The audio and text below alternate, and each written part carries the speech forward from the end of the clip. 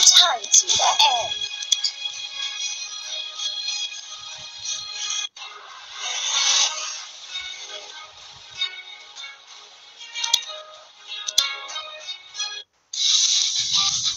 Time to You end. monkeys are no match for me.